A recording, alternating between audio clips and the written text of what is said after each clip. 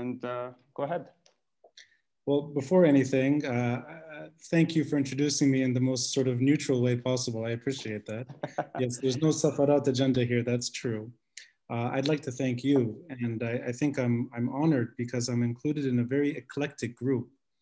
Not too long ago, a common friend of ours, Mike Azar, who yeah. I admire, uh, took part, and I think Dan Azzi was not too long ago as well, a week or two. Uh, I also, I offer you, I should offer the group an apology. Uh, last weekend, I think it was the night before we were scheduled, I was off to Tripoli. Uh, my grandmother passed away. So yeah, I couldn't make it. Well, thank you. Uh, but gave you my word, and here I am a week later. A bit sleep deprived. It's going to show around the eyes a bit. I woke up a bit too early this morning, and I think somebody in the group sort of joined me at four in the morning saying good morning and you chimed in saying it's way too early to get up, which is yeah. true. You're right. It's like it's it's by now it's it's it should be your bedtime or something. Oh, yeah. Sandrella is here. Yeah. Yes, yeah. So this yeah. is going to be Sandrella and my bedtime story. Everyone else. Yeah, exactly. Yes. I should also apologize. My my voice is a bit gone. I've been doing too many recordings and I've been on the phone a bit too long this week. So it's not my podcast voice as per usual. I apologize. I hope everyone can hear me just fine. Before we jump into anything, uh, I'll just say up front, I think Beirut is the best story ever told. And I am biased. And I know Mahmoud's eyebrow has already sort of hinted a deep concern here, but that's fine. That's fine. I really think it's the best story ever told. The good, the bad, the beauty, the tragedy that we all know a bit too well, diversity. And when I say diversity, I mean real diversity. Open mindedness, living next door to fundamentalists, a secularism that's extreme, and a sectarianism that's equally extreme. We have consociational ideas. We have confessional ways of governing. We're cosmopolitan. And I think we're cosmopolitan in the true sense of the meaning. We are the most cosmopolitan part of this part of the world. We're one of the most cosmopolitan parts of the world, period. We're Arab, and I'll go a bit sort of, I'll take a leap of faith here. We're European, and by that, Eastern Mediterranean in the loosest way possible. We speak four languages. We speak English, French, Arabic, Armenian, and I'll give Mahmoud an extra one here, Lebanese. We speak five. And anyone listening, there you go. He's that's the approval from Mahmoud. Check out his Bil Lebanese stuff. So up to five languages spoken, sometimes at relative ease. 18 sects. 18 particular confessions is quite the mosaic for a small piece of real estate. Europeans live among us. We have Greeks, we have Armenians. We used to have Jews living with us. Now more, mostly they fly above us, reminding us that they're still here. We have prosperity. We have pure misery. Our history and our modernity is defined by each in equal measure, prosper prosperity and ruin. But that's our story. And for better or worse, I live in that story, whether I'm here in Beirut or for the last few years back and forth from New York. I spent years in the UK as well, and I'll get a bit into that. Regardless of where I am on this planet, this story is part of my life. And I'd like to start by offering a very personal take. Uh, I think storytelling, in principle, is the most joyous profession. The more subjective, the better. The more sensitive, the bigger the rewards. Academia was never my thing, and I apologize to the few researchers in this group. I've seen a few names, and I think Mahmoud is chuckling here because somewhere deep down he fully agrees. Research was not my thing. I tried and I failed. But storytelling, I'm okay at, at least. I'll claim to be an amateur, at least. And this story, oops, I'll make sure this is opening. And this slide is showing now, Mahmoud, just to confirm. Uh, yes. Okay, great. Just want to make sure it's, it's working. Yeah. this story has been told for many, many years. I'm not the first, I'm just one of many. And I like to look back in time a bit to broadcasters, not podcasters like myself or like you, Mahmoud. We're sort of, uh, we're the new generation. I like going back in time. And one person in particular from the 1960s, Omar Zenne, a radio program that he would start by saying, الدنيا قصص وحكايات وكللة ضمنة وذكريات. Life is a series of tales and stories and fables and memories. Those old photos of you we know so well. From tourist shops and bookstores, from postcards outdated, the city's prime and eminence and enhanced sepia and chrome. Your recognition going back to late Ottoman rule and a great war that would end its reign. We rose in you to demand a chance at our nation. Before we named you Martyrs Square, you were Burj, the tower, the geographic heart of a calm Eastern Mediterranean town, now more than 100,000 inhabitants. The Turks didn't tolerate our nationalist gestures. Two years into that war, and halfway past famine and fear, journalists, politicians left hanging for three days, punishing our spirit and reminding us of the empire's grip. Yet you gave birth to our purpose. We returned to you repeatedly, on a weekly basis, calling on the Turks to retreat, and how soon we were divided along conflicting lines. Mountain Lebanese, coastal Syrians, unable to forge common identity. Protesters making a choice either Syrian Arab or Lebanese nationalist, Christian or Muslim. Half of us joined an Arab uprising sweeping the region, from modern day Syria to Saudi Arabia. Half of us wanted to detach from the region and pursue Greater Lebanon. Division did not stop us, though. We changed the course of history, and by 1918, we were ready to revolt. In your midst, we in, sorry, in your heart, we claimed Lebanon and Arabs, the Arab uprising's finest hour. By the way, this is all coming from my head, so I'm, uh, I apologize for the occasional slip. We set up elder meetings, an attempt at forging common meaning.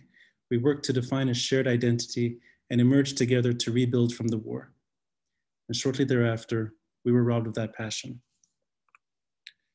British, French bombs fell from above, crippling the empire from within. And the French arrived months later, laying claim to our sovereignty. A Turkish colony or a French mandate. This was now only temporary. We knew occupation would not last. Our ongoing revolution would need you to regain strength and challenge the world over. And history moved rapidly between those two world wars. Two decades later, we were ready for battle. Two years into the Second World War, we demanded freedom. We worked tirelessly at uniting our religions. Bechara Khouri of Mount Lebanon, a Christian with dreams of independence from French rule, with recognition that the coast would need reassurance in a shared country. Riad Solh, a Muslim from Saida, able to see the mountain's demands, willing to be both Lebanese and Arab at once. Sovereignty now possible, a constitution agreed, the National Pact, thought through without today's think tanks or conflict resolution panels. No offense to the academics in the group. Before the UN, before the talking heads on CNN, before academics of Ivory Tower or experts of geopolitical power. Khouri, Solh, they managed on their own. The French threw them in jail together. They spent months in confinement in the eastern barren hills, yet they never relented. They gave us our confidence. Thousands of us gathered in your midst daily, demanding their release. The French shot at us, arrested us in droves. We were undeterred. In the middle of their European war, the French released our prisoners and retreated from the region. November 22nd, 1943, Bechara Khouri Riad Solh, our first president and prime minister, declared independence from France. And from the heart of Beirut, we gathered in your square. And with jubilation in your presence, we named you Martyrs Square. We changed you right away. From simplicity, relished in history, we invested in your fame. We gave you your majesty, your statue, with liberty embracing the country. A torch, a flame, martyrs fallen below. A tribute to the two uprisings behind us, the foundations of our country, a reminder of the sacrifice and the price we endured. You became our nightlife, our movie district, films from Cairo and Hollywood budding side to side. You did the work for us. You bridged our divide. We removed symbols of Turkish tutelage and embraced French facades. The Paris of the Middle East, days of architectural beauty. Tarbouche tossed aside in favor of bow and necktie. We moved forward fast, letting go of the past. We jammed you with our traffic and lined you with sidewalk cafes, sharing you with the region's best writers. Egyptian, Iraqi, Syrian, Palestinian poets seeking refuge in our city, now famed for its liberty. They escaped regional disorder and crowded you with their dreams. We held them as our own, and you cared for their plight because we were proud of our consociational democracy, the Switzerland of the Middle East. In your midst, we could never tell who belonged to what religion. It didn't matter. We knew that without you, our commonalities would disappear. And that, of course, is history. We tore you up during the Civil War. We gave you carnage and gore.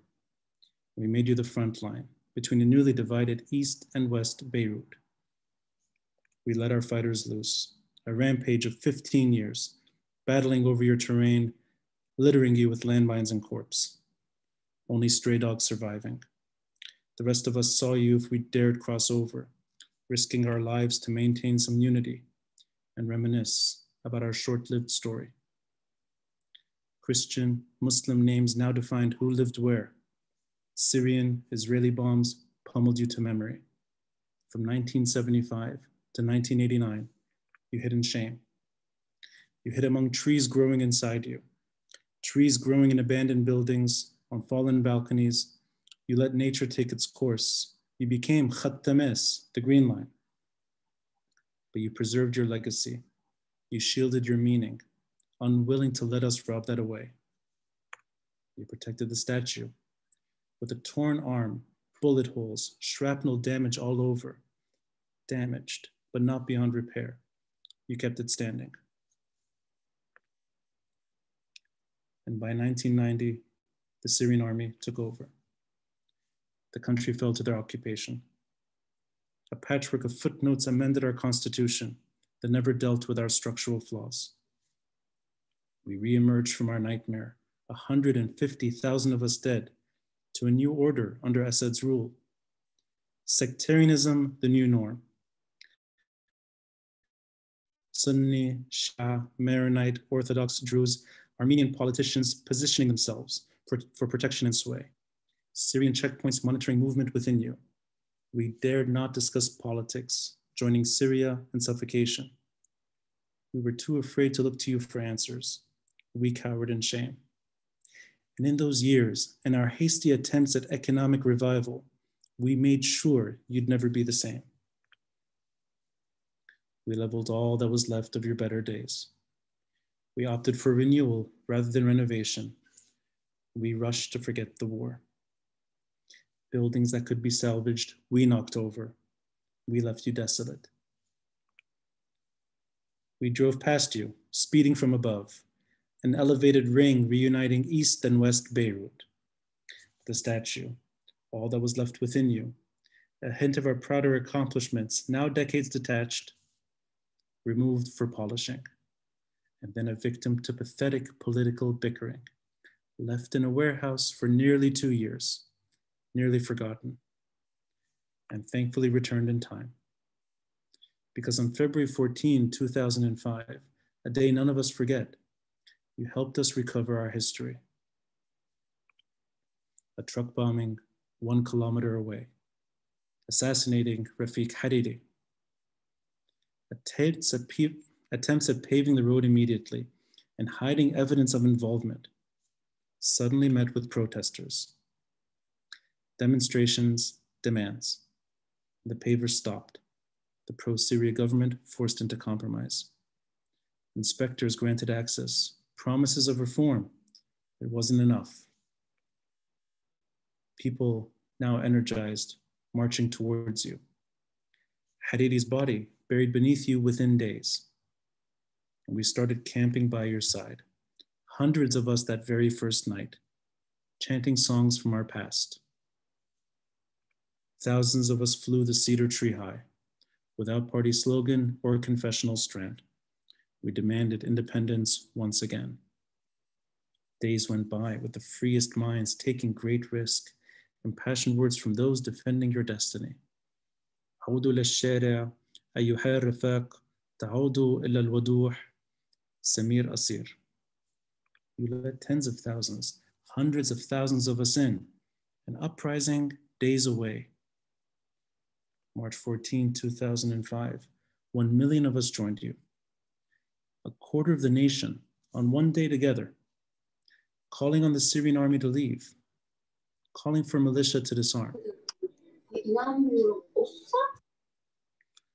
calling for independence, and calling for justice.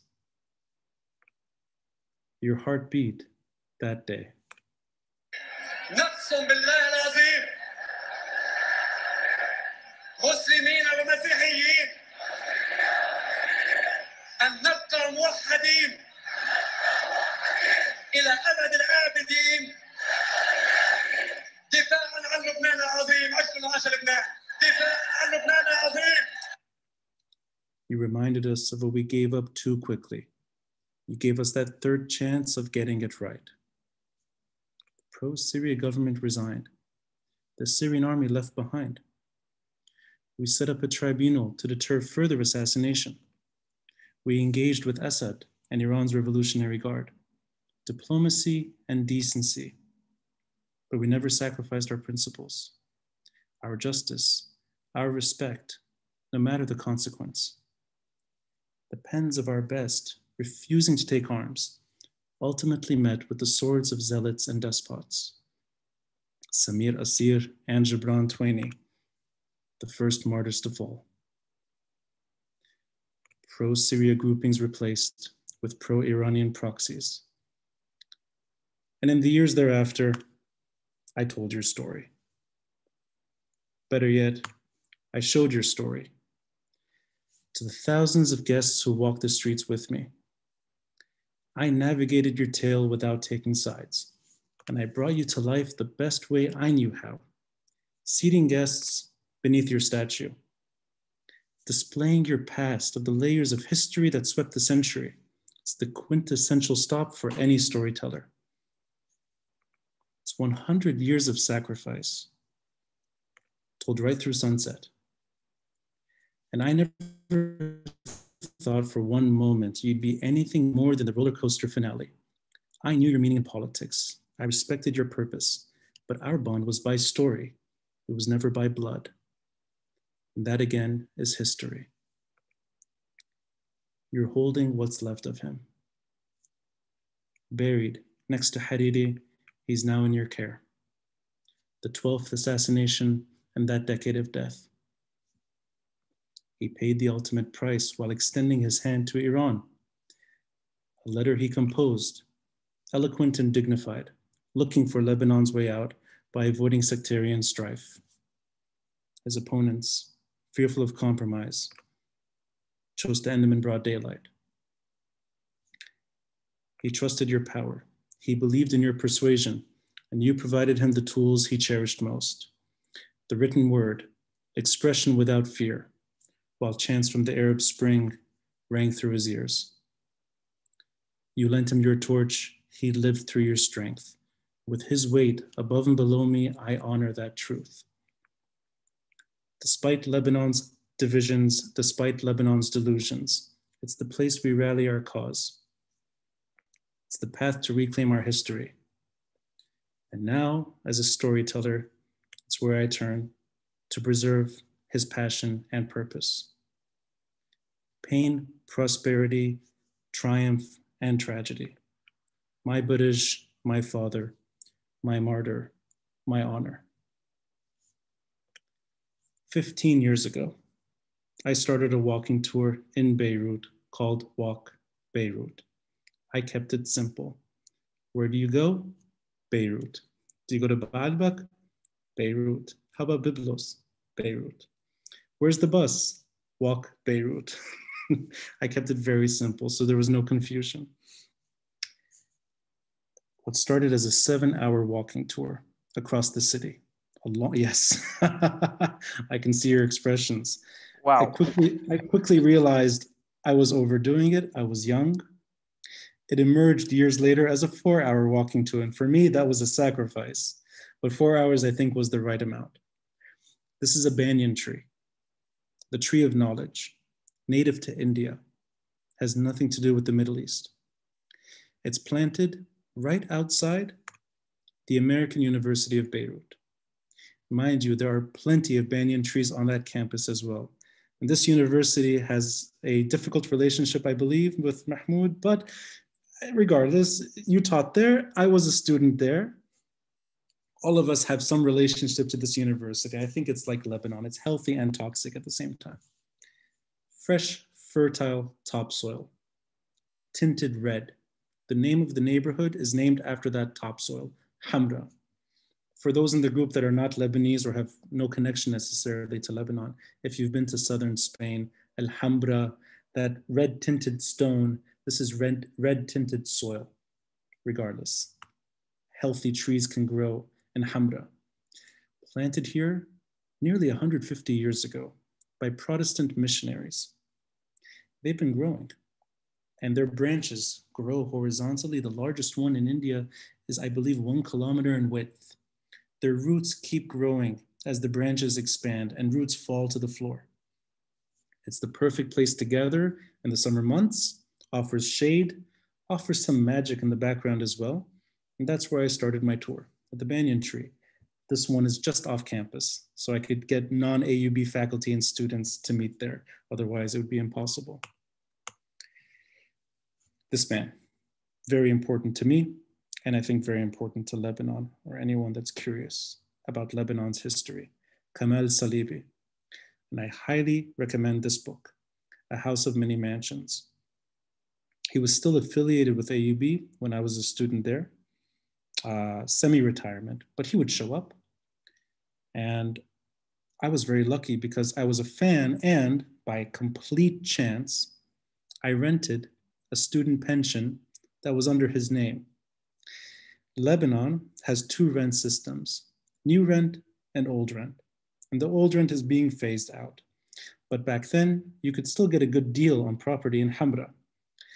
I don't know exactly how much he was paying, but my guess is just a few hundred dollars at most for a building in Hamra. I subletted a student pension in his name and got to meet him that way. A student pension that was once a music school that he ran. It survived the Civil War and shut down in the 1990s.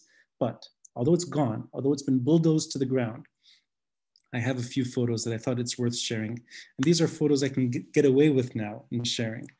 Try to ignore the Spanish lady lying down on the sofa. She's one of the guests at the pension, taking her time and enjoying her life, maybe a bit too much. But if you look behind her, you'll see a double bass parked there from the 1960s. Obviously, we were not playing music anymore. We were using it for Christmas light decoration. But it was a music school, and I managed this. I managed this student pension, and when you're managing a pension, you become the center of attention, whether you want to or not. So that's a photo of me in my better years when I was thinner and probably more attractive. Anyway, Kamal Salibi, in a way, became almost a friend, although it was a formal relationship for the most part. But when I would visit him at his home, he would share many, many stories of Beirut's past. I would take guests from the hostel, from the pension, and I would show them Beirut my way. And I got lucky, I think, because a lot of people were visiting Beirut in those years. I pulled this up. Uh, you know, it's easy to forget this. It's 11 years, 12 years ago. The New York Times listed Beirut as the number one tourism destination for the summer of 2009. Notice number two is Washington, D.C. I think these two cities are not going to be visited en masse anytime soon. But 11 years ago, were the top two, and we were number one. When Beirut gets that kind of attention, you get a lot of people, a lot of people flying in. Not Lebanese, but pure foreigners who were just there to experience Beirut. And I kind of became the only show in town doing this regularly. So I was always at the banyan tree and people were showing up. I realized that I couldn't do this without a reservation system because suddenly there were too many people showing up at a time. And you can ignore the poor choice in clothing on my part. White pants, never wear white pants. You can make mistakes when you're in your 20s, not in your 30s.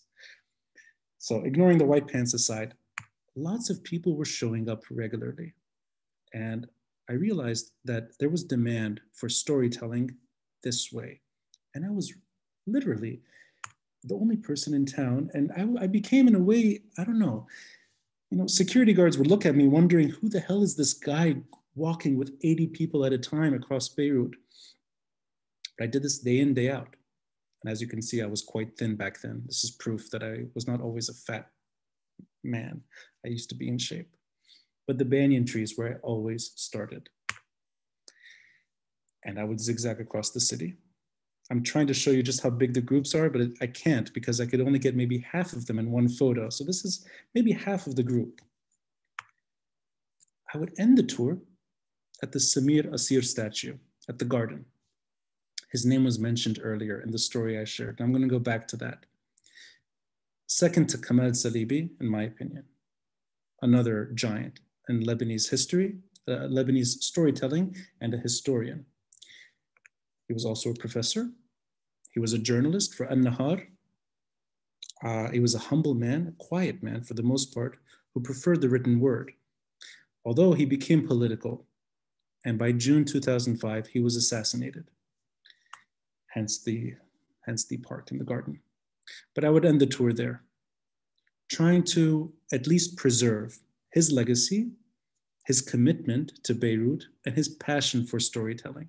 I think he was for many years the backbone, the inspiration I had to do the tour. And he paid the ultimate price for loving Lebanon a little too much.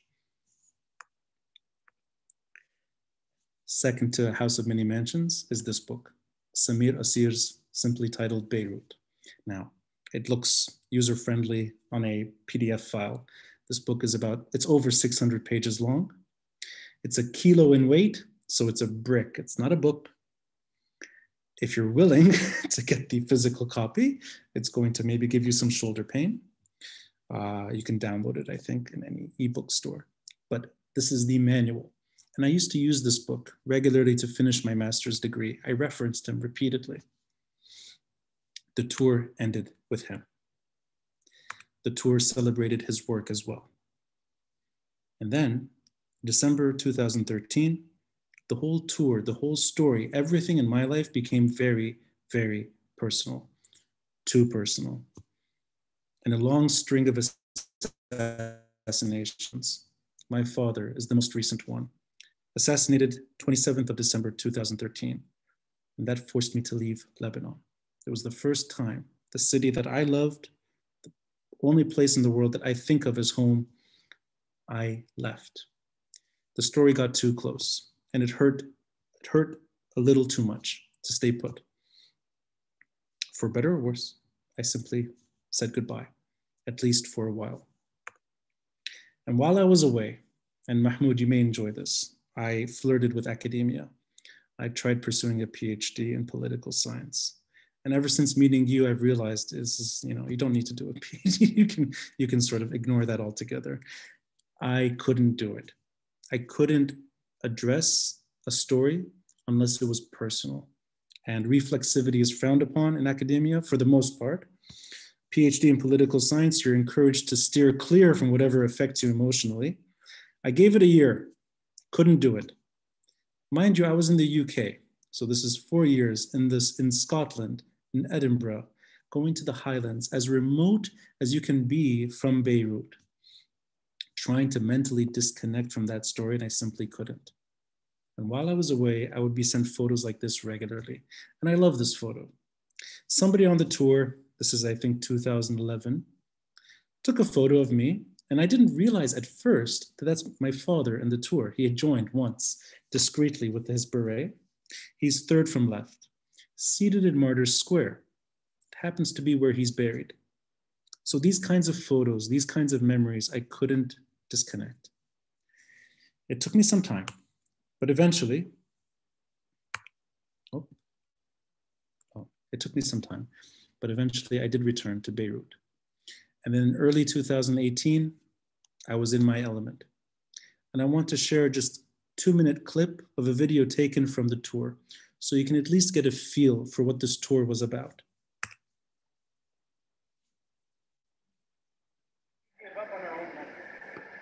Started using other currencies foreigners seem to know.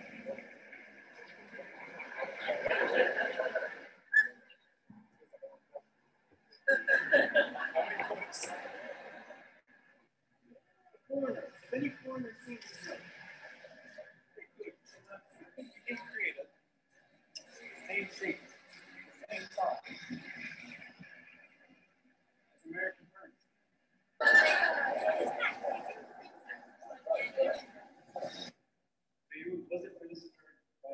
larger empire that imploded as the Carter was It was popular in France in the early 20th century. It was popular in many parts of the world as well.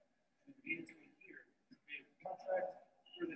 down the street. Parliament. You get there. The building that was brought down, we started digging a little too deep, and we rediscovered Beirut's Roman bathrooms. When you boil water, what happens? Steam. Steam. Steam that was trapped below the mosaic, heating the floor. Steam that seeped through the cracks, keeping Beirutis warm.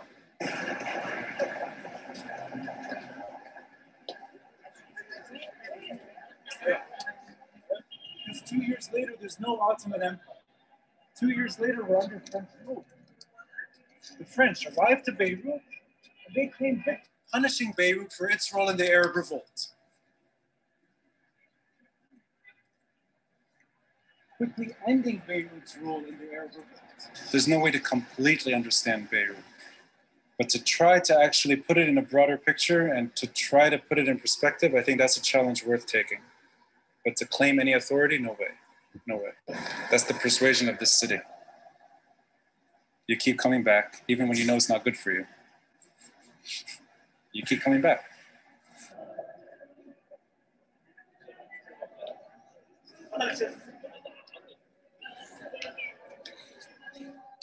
Now, this video is depressing for a number of reasons. First, I realized I gained about 20 kilos ever since that video was taken. So that's horrible. I'll blame that for on COVID for the most part. Also, not too long ago, you could have all these people standing next to each other without our masks and being paranoid. So anyway, I, I hold on to that video. I was back in my element and I still technically give the tour. It's just because of COVID, because of the security breakdown, and because half the city is, is more or less blocked off. An itinerary I used to follow is, is limited now. I decided to just wait and wait for things to improve. So for the time being, it's on hold. Oops. Going back to the banyan tree. Without the tour, without the capability of storytelling regularly, I'm not at ease. There are many different stories I'd like to share that you cannot easily do on the tour. So I thought about this, going back to where I started at the banyan tree. How could I express Beirut in different ways? I like to keep things simple. Walk Beirut, walking tour in Beirut, the Beirut Banyan, celebrating the banyan tree that I started the tour. And this podcast begins with one person I deeply admire. I think he may be one of the most important Lebanese storytellers alive. Filmmaker, director named Ziad Doueiri. One of the best movies on Lebanese history, if I don't know if that's maybe the best way to describe it, but it's his personal story growing up in war-torn Beirut called West Beirut. I'm a big fan, as, as many people are, of his work. And I thought I would start the podcast with him. I went to him wanting to talk about film, cinema, and not really, I didn't feel privileged enough necessarily to go deeper. I don't know him. But for two hours, we sat down and he shared his story on his terms raw, deep, intimate, and almost from the gut. I couldn't get enough of it. So he set off 15 episodes that were strictly storytelling episodes. I'm going to share just a small clip from the first episode. Mind you, this is the beginning of my podcast, so it's a bit amateur, but I'll share just a snippet. Hamra was a very happening place. It's not like it is today. It used to have. It used to be really the center, the center of journalism, the center of culture. It was a very, very trendy street. Nowhere in Lebanon there was another equivalent street. All up the 50s, 60s, and 70s, Hamra was the main center and it had so many movie theaters. Hamra had had the culture where the youth go out. Downtown, where my dad used to have his store, you know, it was the business side. Hamra was the entertaining and the cultural part. The university is nearby, American University of Beirut, which is a huge university. And then you had the movie theater. That's the most important thing. You know, that's where you had so many movie theaters before the arrival of the multiplex. It was just uh, each building had one movie theater or two max.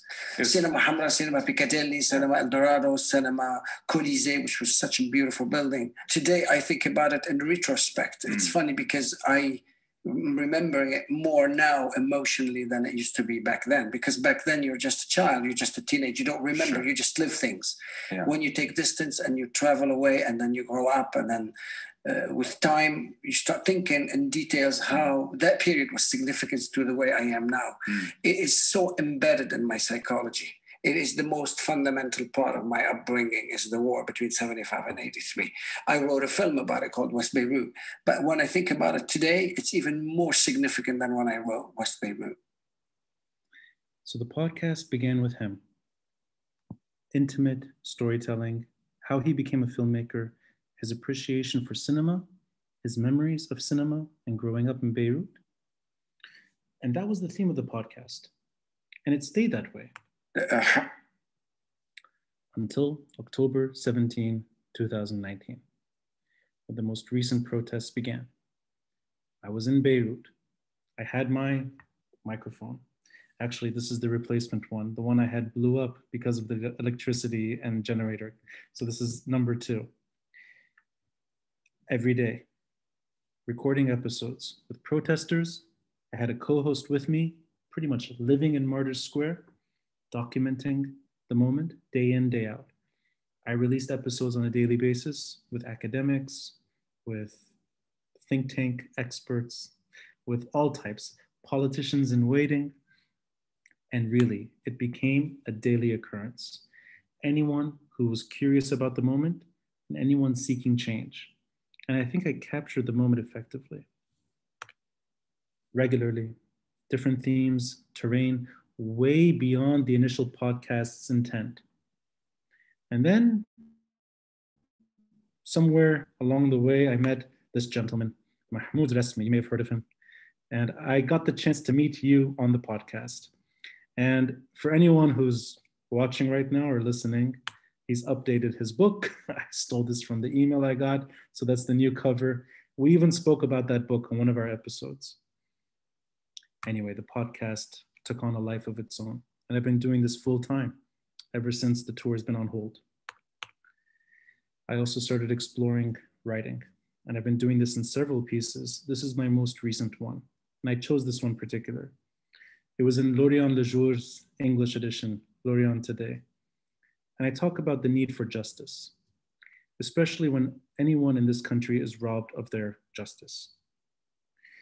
I've sought a different route since justice is not possible for many reasons that I will get into when Rasmi invites me back. He's offered another talk on another issue altogether, far more political, far more sort of state building and post war stuff. I'll leave that to later. But the simple issue of not being able to have justice in Lebanon can drive you insane. And I've decided to sort of let that energy and, and maybe at times anger and uh, that fuel, if you will, I've sought poetic justice. And I use this podcast, I use the tour, I use writing, and I use storytelling in general to make sure that there's fairness and that there is a form of justice still available even when the state is collapsing before us.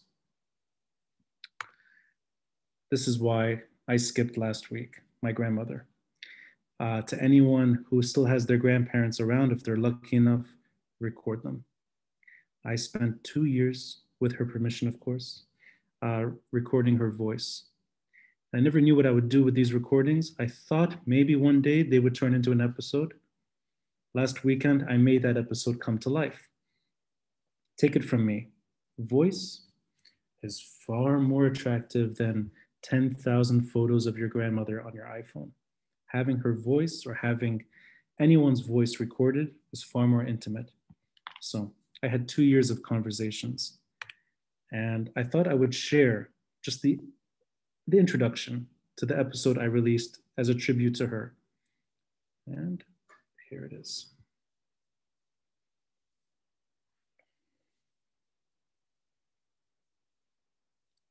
How are you, Ronnie?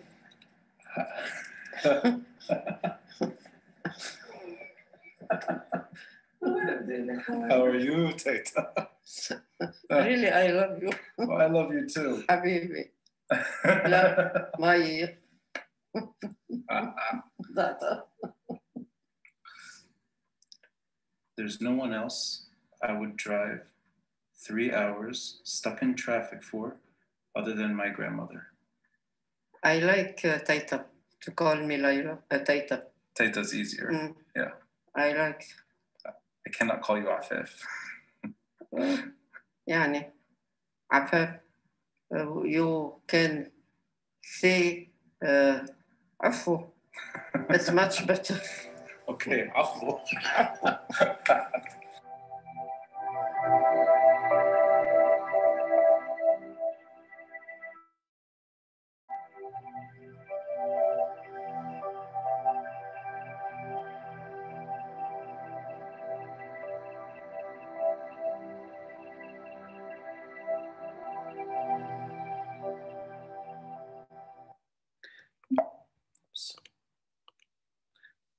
Storytelling is magic. I haven't mourned since she passed away. I have her with me in her story. I edited it, I put it together, doesn't matter.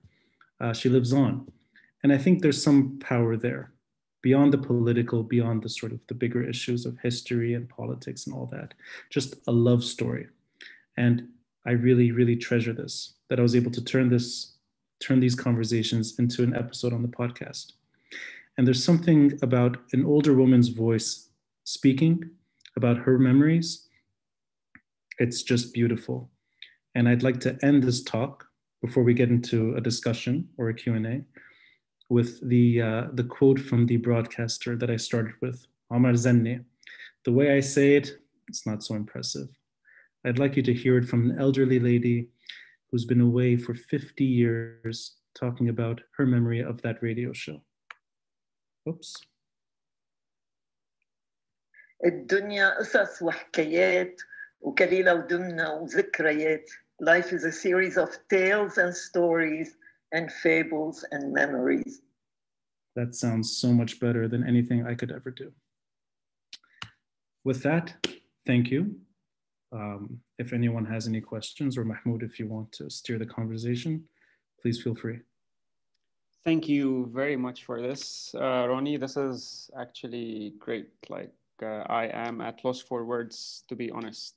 Uh, Is everyone disconnected? nope, not at all. They actually, yeah, we have we have more people now who, who joined us. mesmerized. What are you talking about, Ronnie, we're like so into the video, we want more. That wasn't even oh, enough. Oops, sorry, sorry. I, like my heart is beating with the information you have and the way you tell the story. I jumped in ahead of Mahmoud. I apologize, Professor. Uh, no, go ahead. Go ahead. This is this is you. You take off some pressure off me now. So go ahead. It's beautiful to hear you because first of all, you're like so American, and then all of a sudden you have this passion and drive. And the way you talk about our land, we, I, I didn't grow up here, right? So I have this I don't have as much as connection as you do. So you you you bring that in in a person whether they grew up here or not. So I love the way you tell your story. I love how you're connected in such a compassionate way to the land, to the people, and you're it's beautiful. Like I'm really, really like almost in tears of like how lovely it is to just hear you talk about it. Um, Thank you. May, may really, who who speak? I can't. I didn't catch your name. Sorry. I'm Sandrella. Sandrella. You're, oh, you're, the one who woke up at four in the morning. I'm the one that's 4 a.m. in the morning. that's why you don't have your video on because you're I'll, probably. I'll put my video on. I'll challenge oh, you. You are okay. There you are. Yeah. I'm here. No, but it was. Um, yeah, I'm. I'm a morning person, so. Uh, so this is also like a little bit. Uh, this is getting late now no but it was it's just beautiful like i've been following you your blogs i've been reading your stories and when mahmoud just when professor mahmoud right away put your name mahmoud, in man mahmoud khalas. you've earned your phd so you know i always tell people it's not about using titles because they're fancy it's you know you worked hard to earn it so you've earned it so i'm i don't you know i'm very european in my thinking and american so I don't use it as, you know, oh, you're a doctor, you're a professor. No, you've yeah. earned your title. You worked hard for it. In any case, um, Ronnie, did you, uh, yes, I also say professor? no, I don't know. There you go. I wasn't sure if you finished, but it's just so beautiful to listen to you and how you put us through that. And I mean, there are so many questions I'm sure all of us have. So I'm just, I think I'm just taking it in what you were just telling us and you just speak without even notes anywhere. It just it was so obvious. It's just there.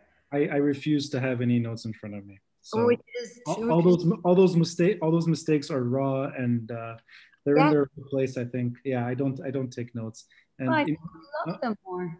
I'm, I'm glad you more genuine and more authentic. Oh, I'm glad you mentioned this. And uh, the tour that I had, I never wrote it down. So it's a four-hour story that's somewhere in my in my mind. And whenever I give the tour again, there's a process I have to go through re- remembering exactly what I say because it's a four hour script that's just long here. But no, I'm, I'm glad I, I appreciate uh, the sort of I, I apologize for these mistakes here and there, but that's that's how it is. After when you haven't done it for a while. When you make these small little mistakes in life and you're just applying that in your passion, yeah. what you're doing, so it becomes. Also, it's it's proof I haven't given the tour in quite some time. oh, there you go. You're a little bit rusty, is what you're trying to say. me, me, I'm gonna let somebody else jump in before I ask some of my questions. Uh, yeah. So first off, um, have you have you thought about? Uh, I'll I'll get the actual questions based on what you said and everything you you mentioned. And if anyone has any question, you can write it down in the chat or you can just jump in uh, have have you thought about the about the possibility of doing some sort of virtual uh, tour? I have, and I uh, so I have my tour here in my bag. I bring this with me whenever I travel.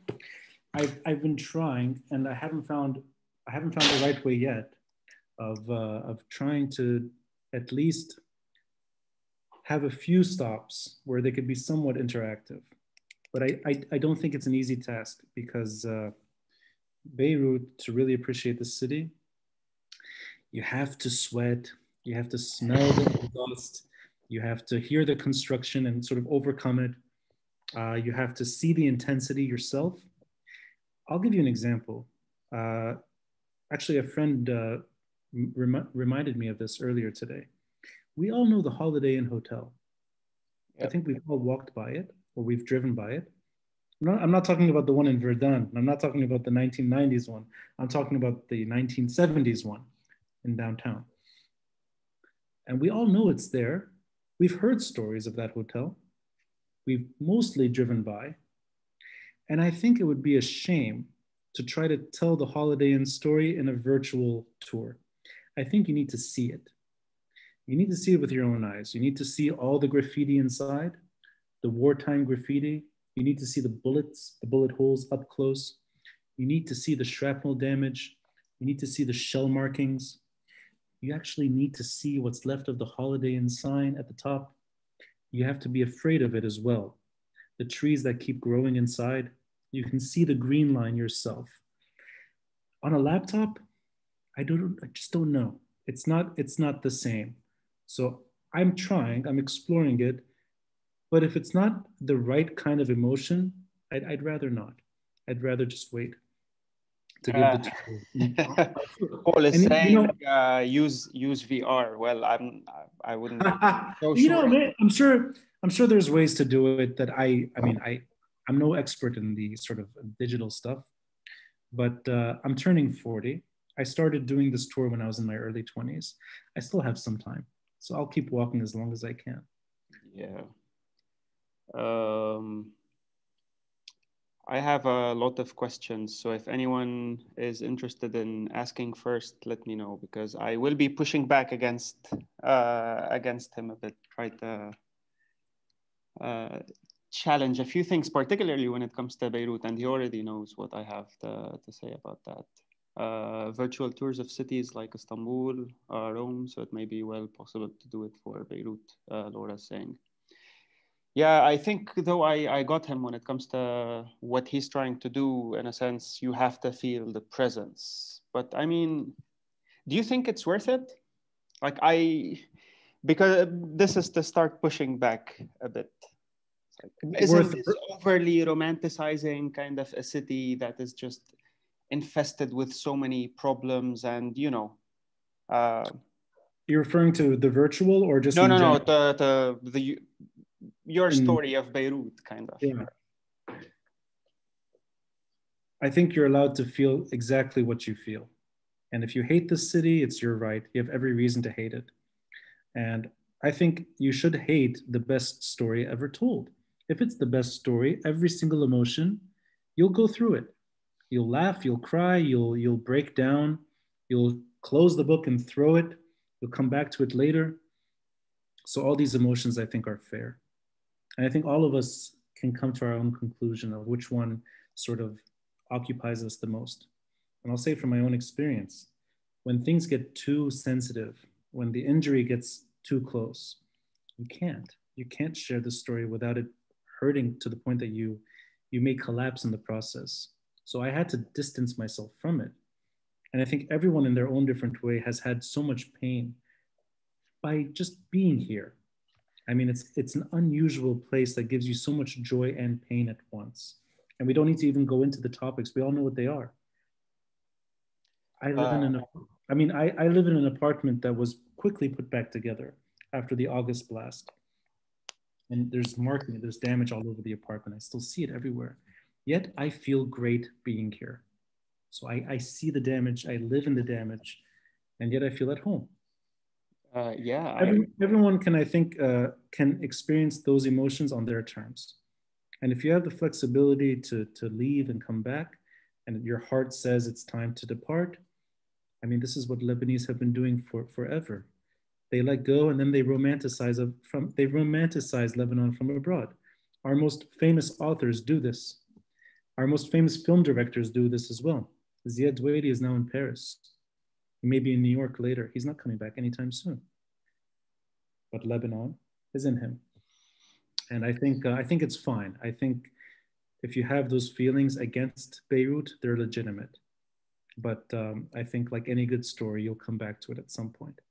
Yeah, because it, it perpetuates this kind of uh, romantic view of what Lebanon is, such that it gets to the point whereby, again, I'm just trying to uh, look at it from a different perspective of maybe this is why there is uh, no justice. Maybe this is why there is people just accept the status quo and they adapt and then they romanticize and then they adapt and then they romanticize in a way. So maybe this is this plays an important part when it comes to the justice aspect that we never really actually um, rebelled against what this city has become. And of course as a city being governed by you know blah blah blah without getting into details but you know it's it's maybe partly us. Malta in the middle of the mediterranean a lazy island has no problems it's i think 400000 people that speak a very distant mm-hmm. dialect that sounds like lebanese Sicilian Arabic, which got sent over to Malta. We can understand them, or at least half of what they're saying. They look like us, they sound like us. They're among the most boring people in the world. And because they have a very boring, very unaffected island, and they're left alone. So, yeah.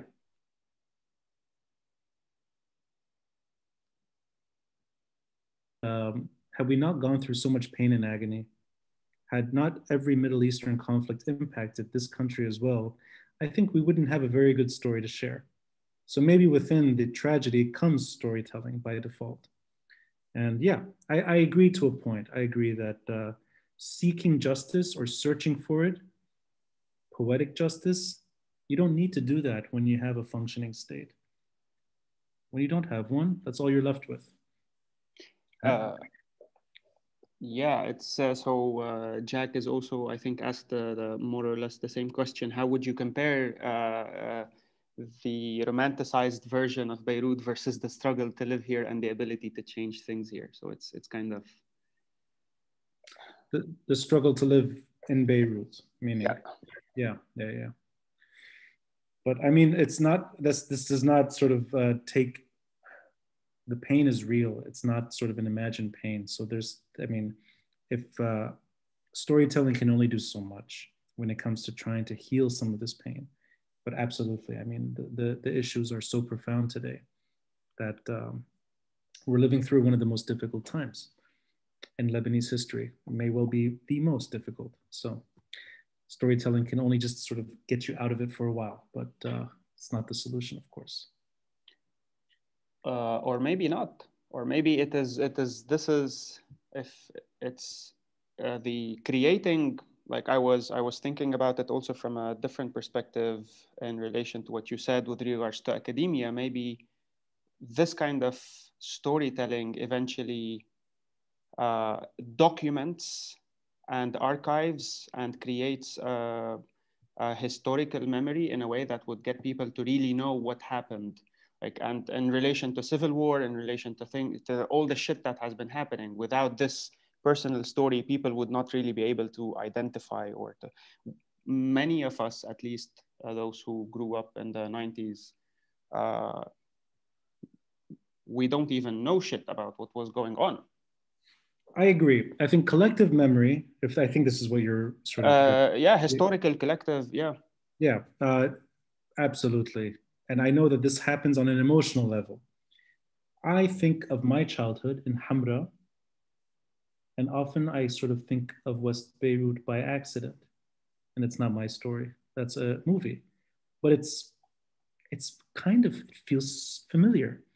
So those characters on the Corniche or walking into downtown or up to no good, I identify with it. And I, I agree. I think maybe our emotions evolve with collective memory and we kind of we allow for a narration to take hold. Yes yes, that's true. And, and maybe it builds something long term. Um, but I'm, I'm only sort of, it's, it's very difficult, I think, to match what's happening now with, with the pure joy of storytelling because things are so bad at the moment that I think it's difficult to actually reflect enough right now. I've actually had this type of conversation with other storytellers who haven't been able to write about the last few months because it just hurts too much but that said, I think I, I agree. I, I, share that sentiment that collective memory does offer maybe a, um, a record to turn to later. And we can look back and maybe see things in, in, in a clearer way, perhaps. Uh, and to reflect on without, uh, yeah, the, the, uh, our version of Dostoevsky storytelling rooted in tragedy, in his case, self-inflicted, and ours quite imposed. This is Paul saying, yeah, so this is kind of something to, uh, or uh, or I, I recognize I recognize this guy from Twitter. Yeah, I, I, I, even the way he writes the tweet, I can see it. Yes, hello, Paul. Yeah. um, and and yeah, maybe it's it's this because it's it's not politic, not politically charged in the Lebanese uh, sense. So you just present your story at a personal level, and then you would hope others would do that as well, and that's how we relate. So it's yeah, I I would prefer that much more than reading uh, a very dry account of what happens or of Beirut or of history, etc. So that that for me at least makes much more sense. Uh, There's very little joy in reading a um, a PhD dissertation on the Lebanese civil war, even though that's where you need to fact check. And I, I want to emphasize this, not to sort of sort of trash talk academ- academia too much here, but when I was giving the tour, uh, I had to have a reference point to make sure that I wasn't exaggerating or that I wasn't making anything up. I had to make sure that it was fact. So that's where you turn to. You don't go to the archive to find a good story, you go there to find a source. But the storytelling technique, I think, depends on making sure you're not you're not making things up. So they both serve a function, I think. You know, West Beirut, the, the film, and then Kamal Salibi's A House of Many Mansions, two different ways of telling the same Samir Kassir, all of the above. These are different ways of sharing the same story. And I think they all, they, they all kind of, they complement one another. And you, maybe uh, we can sort of get into a bit of this. Uh, I, I consider you maybe to a point in this world as well. I mean, you're a self-employed podcaster, and I, I don't know if you're podcasting anymore, sort of. I mean, it, there's a lot of individual expression in storytelling that you cannot do in academia. So that's where maybe that's the other side of academia, where you're not encouraged to be sensitive. Storytelling, you need to be sensitive. And if it comes from the gut, I think it's, it's appropriate in storytelling. Maybe not in, in, uh, in, a, in a dissertation. But they both serve a function, I think, in remembering what happened and, and trying to interpret it. Yeah. Uh, and uh, in, in, in relation to this, uh, uh Eliane is asking, uh, as such, why, why Beirut and not, for example, Tripoli or other cities? Well, that's because there are people from Tripoli, and I, I should say this, I am technically from Tripoli. Why? Technically, technically, like everyone's technically from somewhere here that they don't affiliate, they, they don't find to be home. I'm, I'm from Tripoli a while ago. There's somebody who's doing a, a storytelling tour there. There are people much better at doing it, and, and it happens. It's just now because of COVID, it's, it's inappropriate to try to do this. It just wouldn't make sense. And I think we'd all get arrested trying to do it now. If we had a group of 80 people walking around Beirut, we'd all be sort of taken away, regardless of where you are. But there are people in Tripoli that do something that, that do similar things. They're very good. So it's not, of course, it's not limited to Beirut, but I think Beirut is a better story, but that's just my personal opinion. Um, yeah, because like I, we, we even, I, I walked with you the other day on, on Bliss and it was, it's, it's fascinating. Like for, where does this uh, originally the connection that you feel to, to Beirut or come from? It's like why I, I, you said maybe it happened by by chance at the beginning, etc. But uh, why do you feel at home here? Like, what's where is this feeling coming from? I don't know. It's because you the way you talk about like I saw you in action, kind of, you know, and you were so fascinated and passionate about it. It's I would think to myself, like you you haven't lived maybe those uh, in the 50s and 60s. So uh, I'm a fan of, of detail and I like to observe. And maybe that's part of it, that the city is full of details and maybe you need to scratch the surface a bit to see it. And uh, I like just watching. And Beirut, what do you do when you have? I mean, you people are just watching each other. They're watching life go by, and it's in me. So maybe, maybe that's the that's the personal foundation.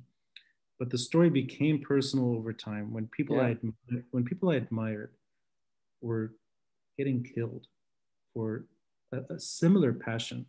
Samir Kassir was was profound to me, and I was younger, but he was an academic and somebody I could relate to.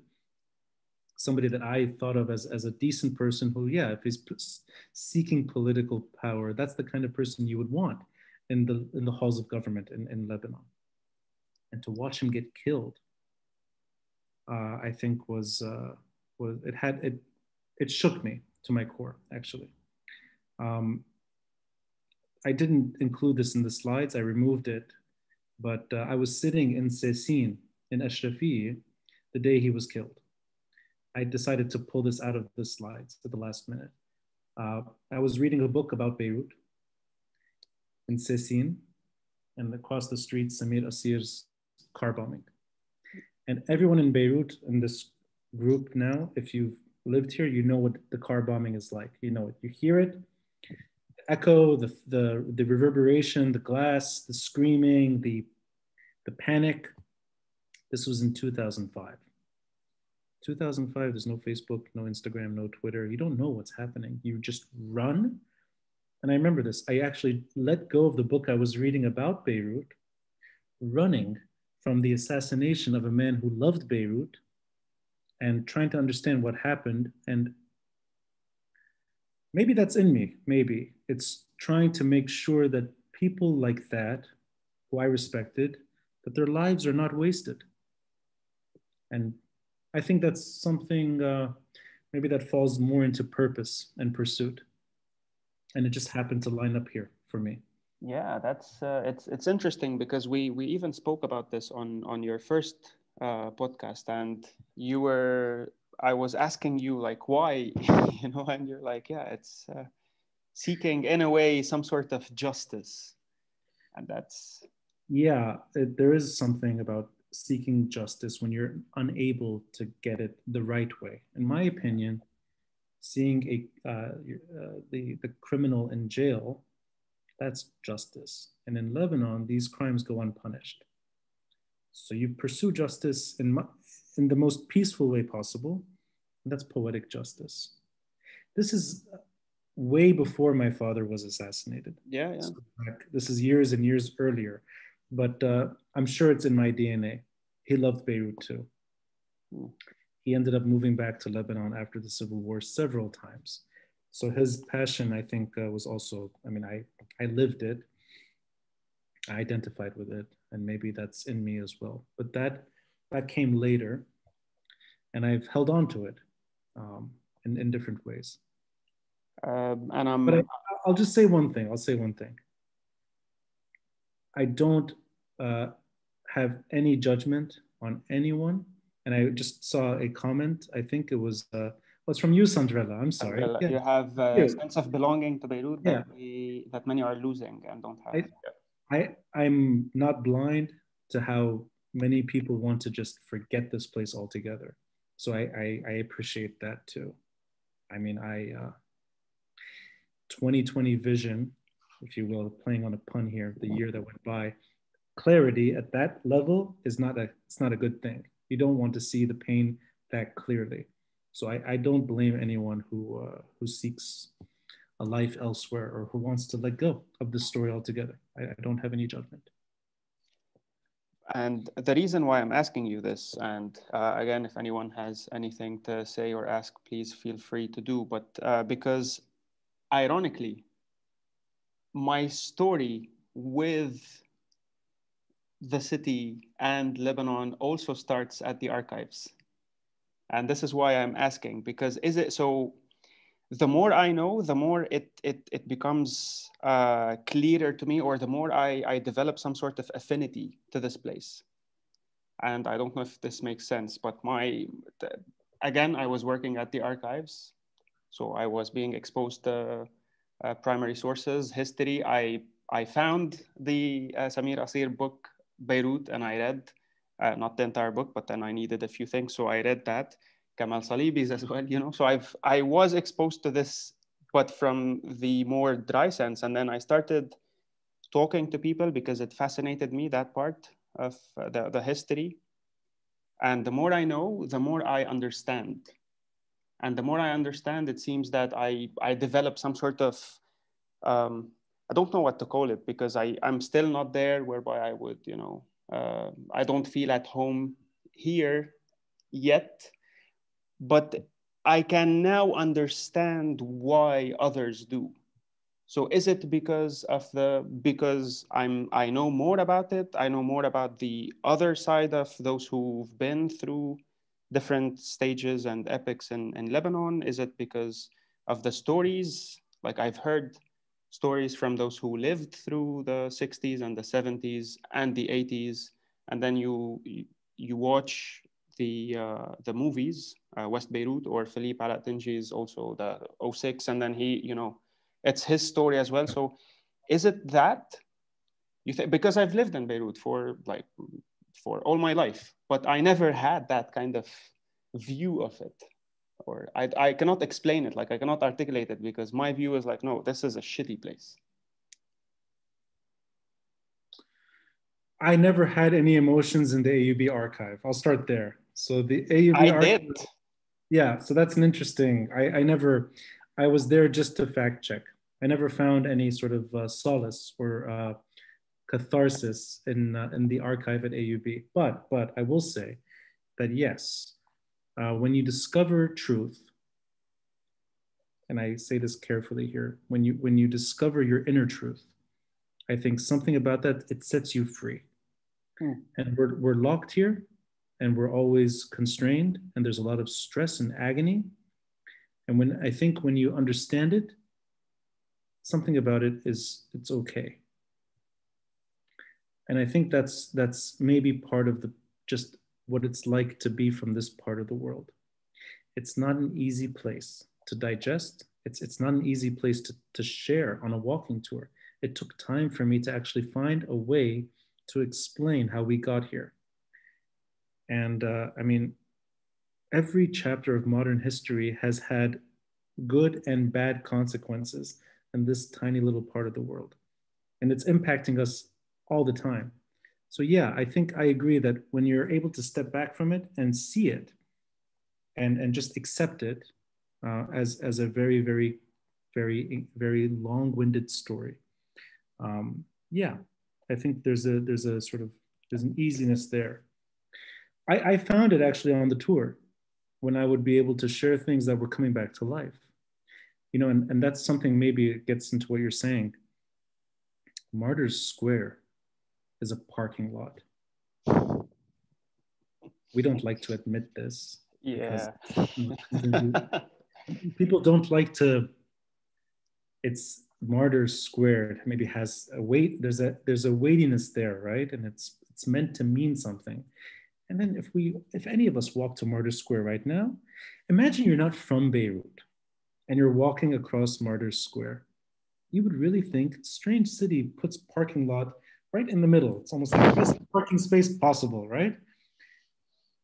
I, I think I find real joy in sharing what Martyrs Square looked like and right where we're seated and bringing it to life.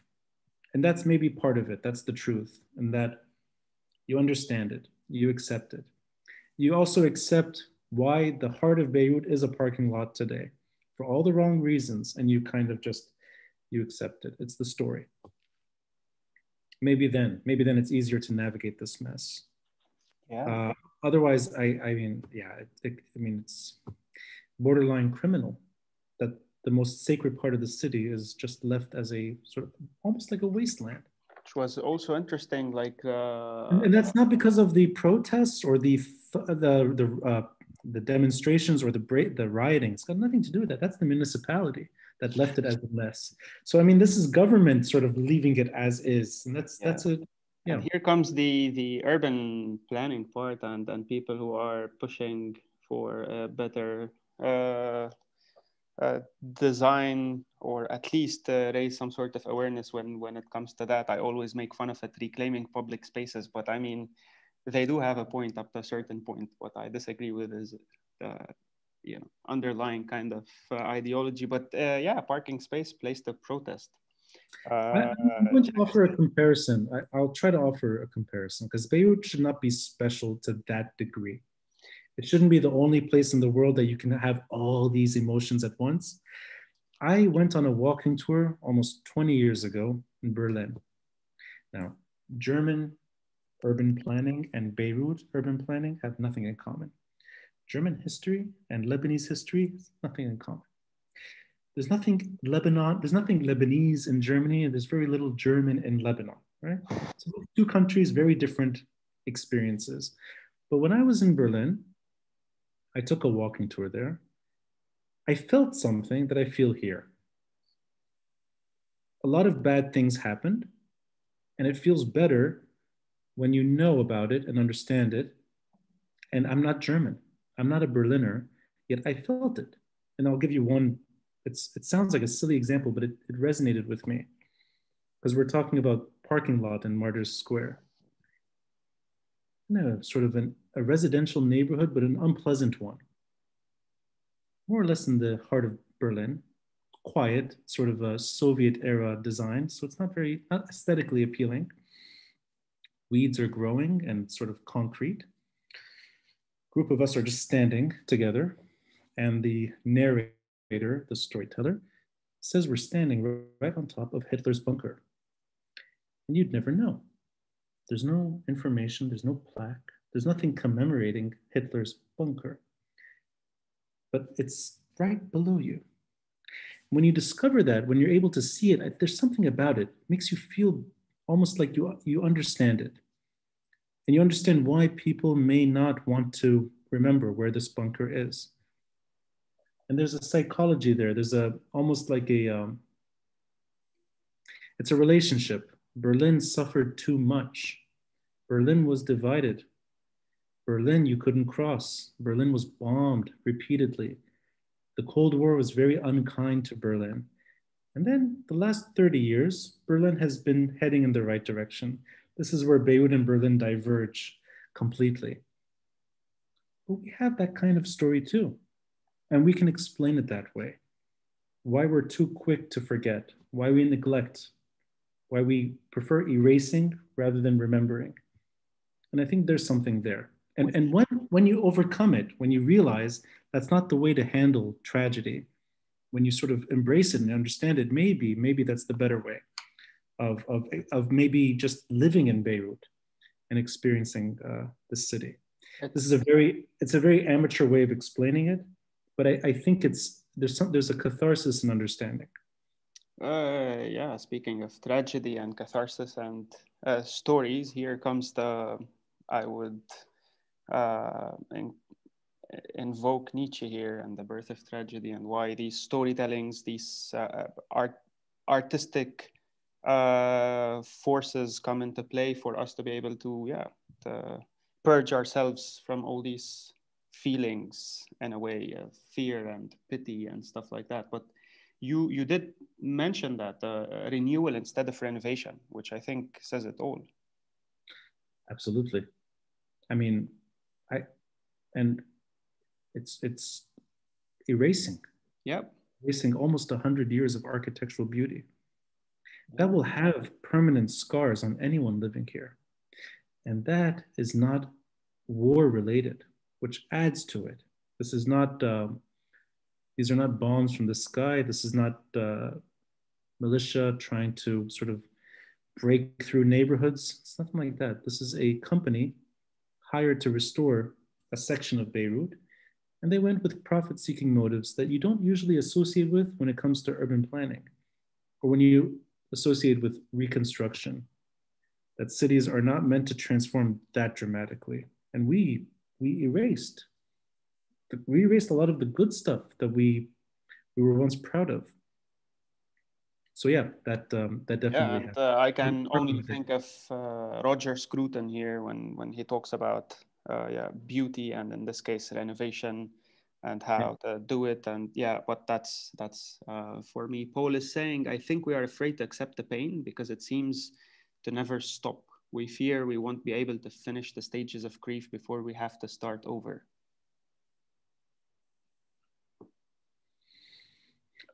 i mean unfortunately for us unfortunately because berlin is another it's just a similar story that it was in pain for a long time but they've had three decades to sort of put that behind them we're still in the pain.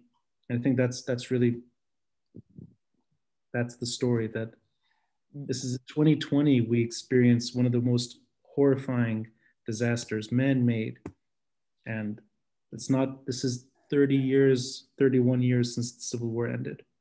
See, this is in a, this is in a, what I was trying to, to say at, at the beginning, because with the historical memory, I think they call it's like creating some sort of collective memory, such that not without without the uh, political underpinnings. It's just to say things as are instead of completely erasing. Like if you if you look at uh, maybe Berlin, they do have. Uh, I know more about the, the, the, the case of Spain. So there's a lot going on in Spain with cultural production, stories, movies, uh, books, novels, which I think up to a certain point, I don't know if it's not that we miss it here, it's just that uh, it's here and there, it seems. So this is why we tend to forget. And in Spain, it's, it's there, it's present. You cannot forget it in a way, kind of. Uh, the the civil war, dictatorship, etc. You know. Yeah, and yeah. and those places have had time. I think they've had the right amount of time to reflect. But they I did think... reflect. I we we miss that here.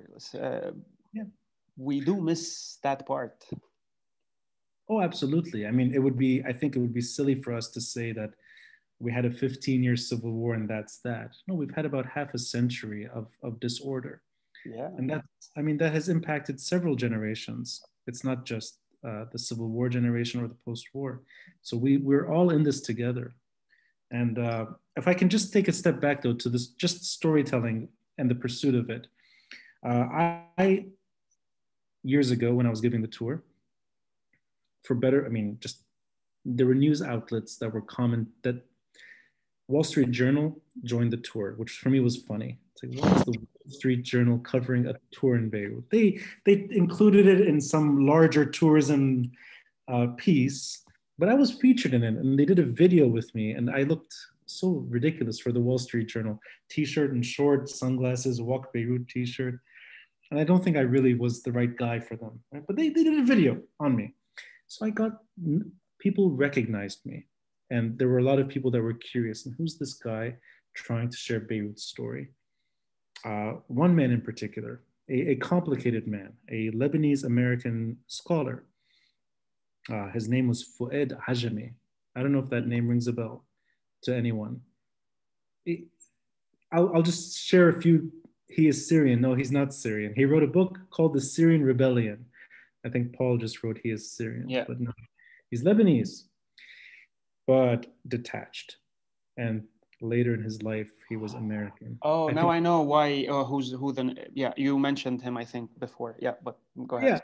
Yeah, I mean American, but Lebanese. Fouad Ajami. You know, you're a Lebanese man, right? You, you can't get away from it, even as hard as you try.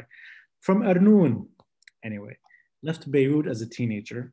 Uh, would return on occasion, but for the maybe last three decades of his life, didn't set foot in Lebanon in a lot of pain. He would write regularly. And I mean, he was ostracized for being so, so critical. Uh, Self hating Arab was usually the sort of title. I don't think he really cared about the title, but he wrote wonderful stories of Beirut from New York. And he was going back in his own mind, remembering his childhood growing up in Beirut the way he described things, I mean, for me was so beautiful. And there was a there was a bitterness, but it was matched with with beauty. So you can kind of give both at the same time. He was upset with Beirut, but he remembered how beautiful it was at the same time. And he's de- he's detached. He would email me on occasion, just sort of curious. It's like, you know, what are you doing? And I, I, we, we had communication back and forth. He wrote one chapter of a book called Dream Palace of the Arabs. It's a chapter about Khalil Hawi. He's a poet. I think you, you know the name, Mahmoud, Khalil Hawi. An AUB professor and a poet, a complicated man. Shifting political ideologies, he couldn't choose between Lebanese nationalism, Syrian nationalism, Arab nationalism. I think he flirted with all. And then in June of 1982, he's on his balcony the Israeli invasion. He commits suicide. And the story is about one poet giving up on Beirut. And I think we're going to have these stories emerge. And that's 40 years ago, he wrote this story. We're going to be writing the same kind of story where we're in constant pain. I think that's part of it. That's why the stories are so beautiful. And I think that's why it's very difficult to kind of step back and reflect, is because the pain is so severe. And we're always holding on to something that was once beautiful and is not anymore. And I really loved a story about a poet that commits suicide. That doesn't make sense. I should be so revolted. I should be repulsed. I should have so much anger. Yet I loved every word of that story. And this is a man killing himself in Beirut in 1982. But for in a very limited way, in an amateur way, I find myself there. I find myself talking about my father, talking about his assassination, something that hurts. I mean, sort of scarred me for life. Yeah. But I love writing about it. And I love when I can, when it's appropriate, sharing it. And for me, it's art. It's a form of art. So I, I don't know. If you're if you're prone to be a storyteller, I'll just sort of take it back there for a moment. There really is no better place to be from. If you're a uh, if you're a computer science engineer and you want constant internet and a reliable sort of uh, you know electricity grid and you want fresh dollars and you want all of the above. Or if you're a lawyer and you want to really have the law to work with if you're maybe many different careers maybe your talents are best served elsewhere for the for the time being. Maybe maybe. But storytelling i think it's it's still meant to be here. But that's my opinion yeah and i i think this is also uh, very interesting. I think i i will be uh, wrapping it up with uh, one more question on uh, something we discussed on your second podcast. Uh, so is is and well since you mentioned it i'm not sure you actually but anyway your book is there some sort of novel or book or something along the lines there? Have you decided to uh, go ahead with it or not? I, yes, I have. I have. I have less than half of it done. Uh, I, I lost a well. I, I don't have a publisher anymore. I kind of was late. I, I decided to do other things while I was meant to send the rest of the manuscript. Oh. So I th- there is something coming eventually. Yes, yeah. Uh, but it, the story has changed because I, I stopped writing before the I stopped writing before the blast, and really like as the protests started in October. So there's a lot to maybe uh, I have to reincorporate a few things and I may have to remove other things. But no, there is something happening. Yes. Uh, more yes. of a novel kind of thing, or just. Uh, um... I am not as ambitious as you. So oh, then uh, how? No, I'm, I don't. I, I don't have the the guts or the courage to self-publish, um, and I think it I my understanding is that it's not the right length, has to be longer oh. for it to be published. And I still believe in, in publishing rather than self-publishing. I don't think I have what it takes to self-publish. So one day it'll come out, but it'll come out, I think, the right length and uh, the right storyline. It has it has shifted a bit. Okay. Uh, well, good luck uh, with that. And uh, thank you. Yeah. What I what I will say is that uh, writing in general, which I've been doing in different magazines recently, uh, it helps, helps oh. the process. So when you're forced to write about related subjects, you come back to what you're meant to write. It sort of, it, it lends itself well. Uh, yeah, and uh, in this case, Jack is also uh, has a question. How do you personally approach the storytelling without going into the different versions of reality that each group uh, each Lebanese group has about it? Just, uh, that's, yeah. that's a very good question. Uh,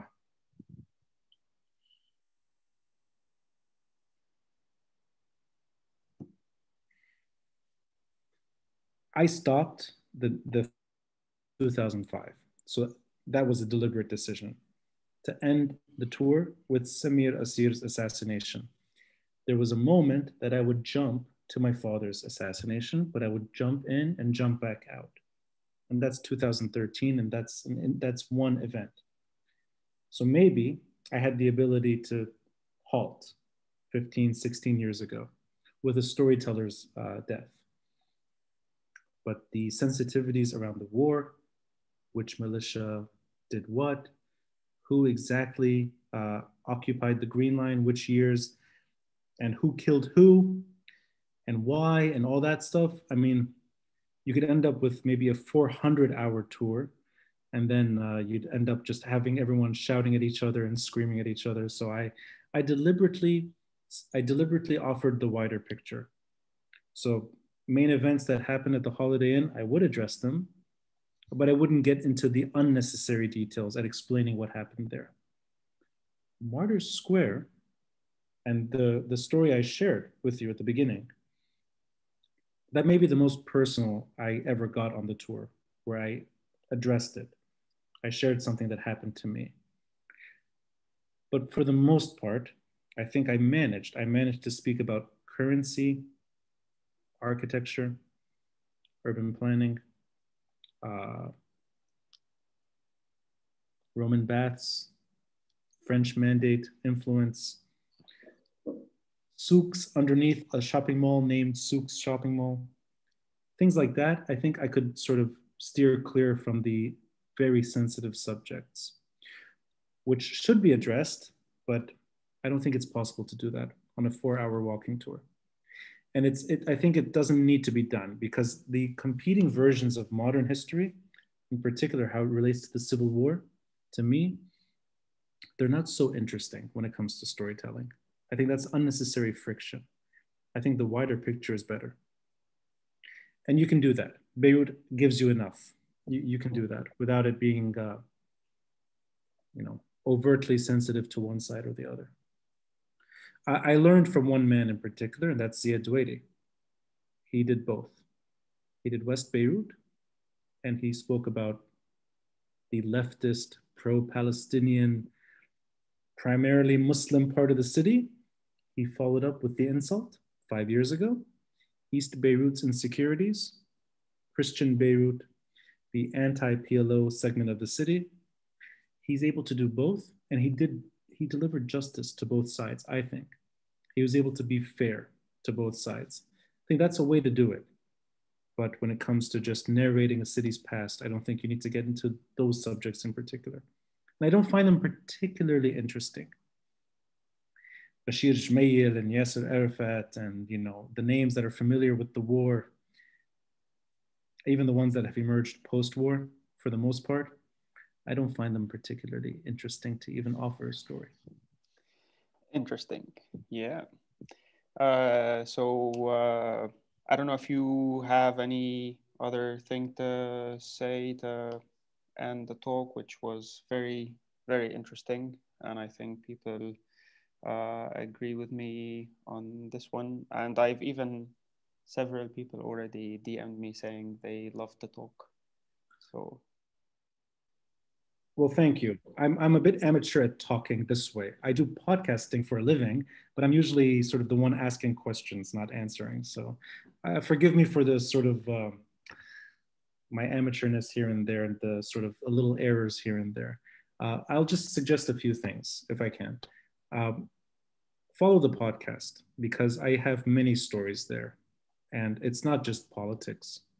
It's not just the protests the last 18 months I have standalone stories. Uh, there's one I love, and the voice at the end, the elderly woman talking about Zenni and the broadcasting.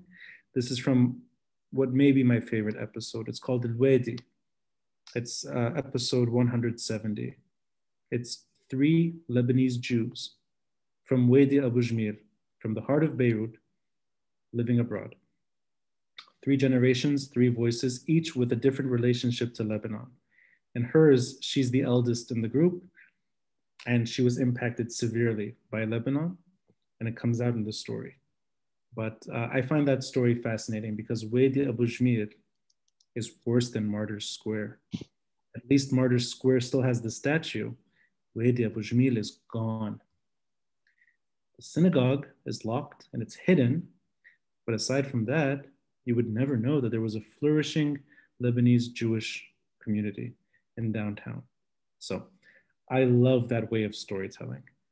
Um, I also shared a story recently about my encounters with Robert Fisk, a storyteller who I used to run into regularly on the Corniche.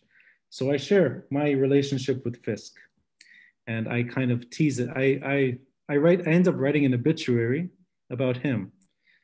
He wrote an obituary of my father. I ended up writing an obituary about him. And there's sort of a cycle there that comes out in the story. And um, I think every single subject, I hope by now every subject is in there as well. So there's playlists, there's topics you can you can uh, you can choose from.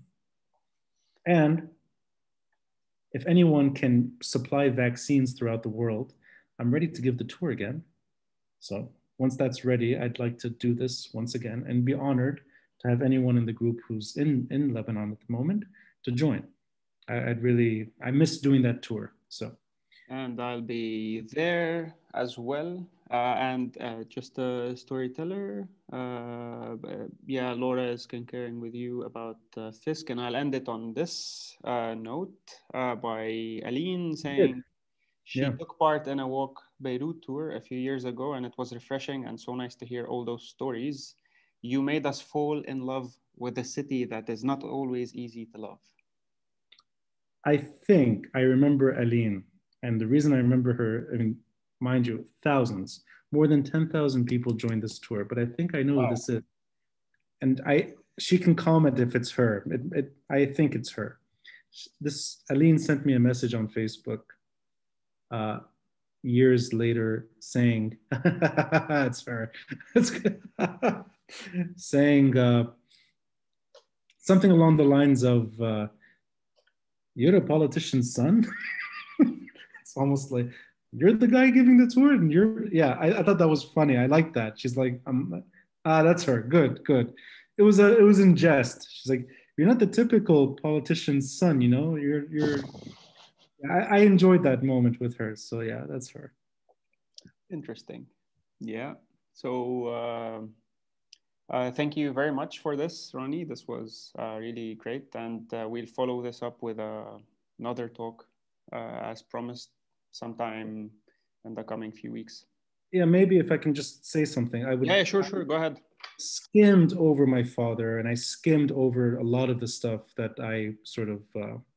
You were very nice to offer two different uh, talks, so I would. Yeah, it would be nice to share a bit more about that, and maybe just sovereignty and state building, and and the uh, the mess we're in, at least when it comes to the politics of of where we are. So I look forward to that as well. Uh, yeah. I appreciate you offering that.